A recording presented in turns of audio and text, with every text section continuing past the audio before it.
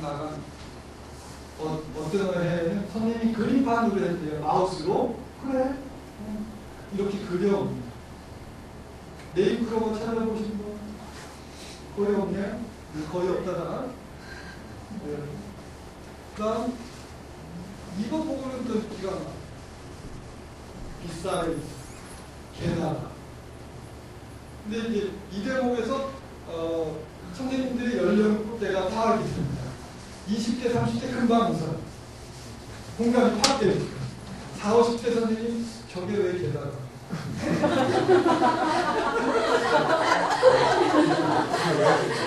끝내 이해 못하죠. 네, 들으셔야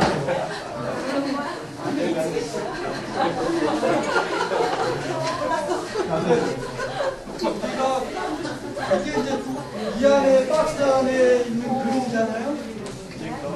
박스 안에 있으니까 애들이 보면서 10대 아이들은 이걸 금방 공감을 하는 거야. 한 자식 센스 있는데 어 그래 나도 평상시 그렇게 생각했다는 거야.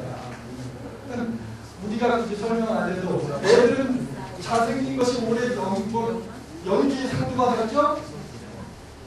그런다는 거야. 그러니까 게다가 서울대학교 다니지.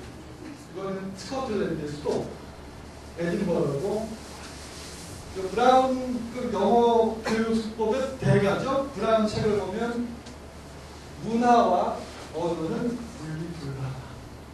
그러니까 이러한 문화를 학습하는 것이 언어 학습의 이러한 사라고 말하거든요. 그리고 수업 시간에 에딘버러 수업할 때 이 그림 저쪽 방에 지금 다 전시가 돼 있어요. 그래서 이걸 폰카 가지시고 샘플 이걸 쭉 찍으시고 되겠습니다.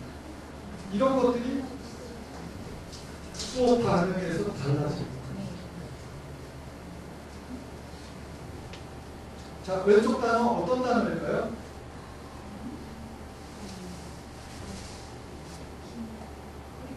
왼쪽에 있는 사진. 바로 있는 하나입니다. 예? 저도 깜짝 놀라게 도대체 이게 어떻게 찍은 거예요? 요 놈을 책상 위에서 뛰어내리게 하고 그 순간을 찍은 거예요. 이 녀석 책상 위에서 뛰어내리고 하고 막히게 차고.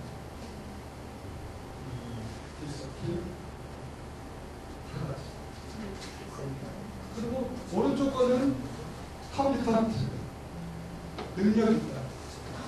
이걸 하면서는 이제 애들이 궁시렁궁시렁 해요. 어떤 새끼가 이렇게 했어 짜증나게 막 욕을 해요. 막 하다가 야야 낚였어 낚였어 뭐가 낚인